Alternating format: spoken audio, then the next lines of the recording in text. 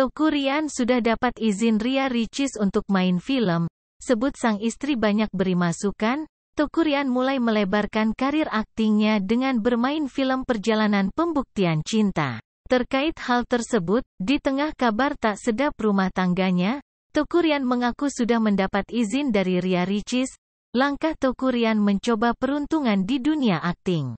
Perempuan yang akrab disapa Ricis itu merestui sang suami saat tawaran akting di film Perjalanan Pembuktian Cinta datang, dan ini merupakan film pertama.